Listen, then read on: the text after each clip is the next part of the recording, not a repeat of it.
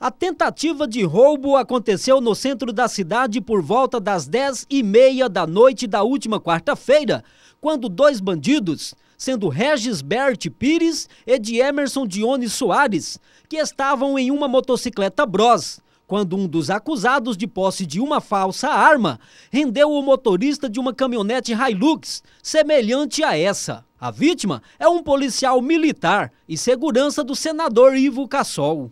A vítima foi surpreendida pelos bandidos aqui neste cruzamento da Avenida 25 de Agosto com a Rua Corumbiária, quando a vítima teria parado neste semáforo. Em seguida, os assaltantes fugiram na caminhonete levando a vítima sentido a cidade de Cacoal.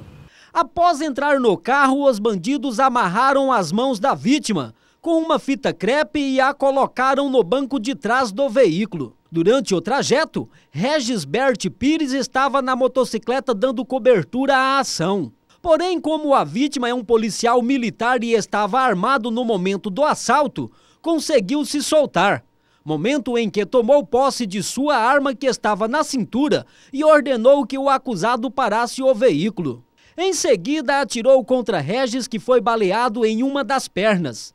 Houve luta corporal momento em que o policial foi atingido por um disparo. Posteriormente, os infratores fugiram do local. A vítima foi socorrida por populares e encaminhada ao hospital municipal. A prisão dos acusados aconteceu em Cacoal e foi por meio de um trabalho conjunto entre as polícias civil e militar de Cacoal e Rolim de Moura. A gente foi fazer um assalto e o cara era policial, ele reagiu. Mas qual era a finalidade desse assalto?